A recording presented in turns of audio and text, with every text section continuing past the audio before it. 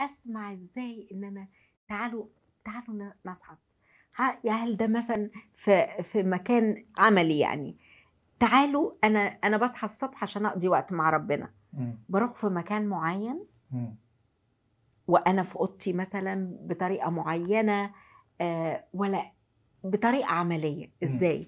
بطريقة عملية أ- أ- أشرح الحتة دي. في العهد القديم كان بيصعدوا إلى جبل حقيقي ملموس. ليه؟ لأن ربنا كان لسه ما انشقش الحجاب عشان ندخل إلى الأقداس الحقيقية.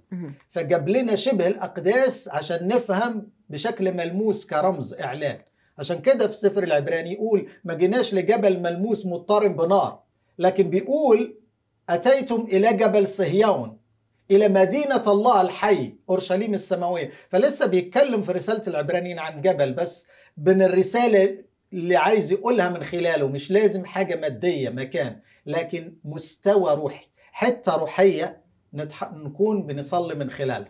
وعلشان أنا أصعد ما ينفعش أصعد وأنا شايلة شيل تقيلة. لا ما ينفعش أصعد وأنا شايلة شيل دي هتكلم هنتكلم عنها إزاي أصعد. لكن في حتة إنه ربنا دعوة إلى الصعود وده اللي قاله لل في نشيد الأنشاد يا حمامتي في محاجئ الصخر. أريني وجهك بيدعوها إلى حتة معينة.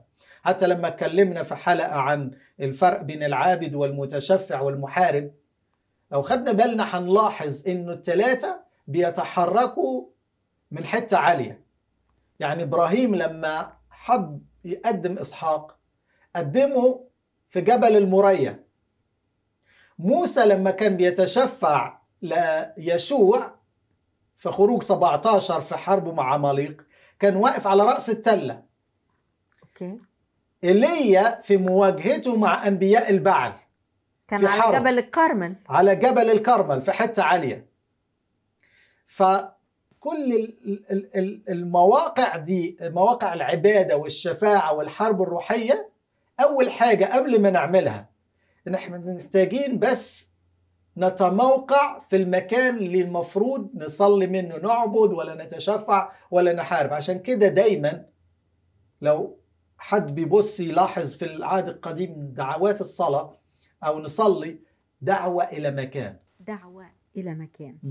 كل مشاهدينا النهارده مدعوين لمقابلة خاصة جدا مع إلهنا ومع حبيبنا في مكان.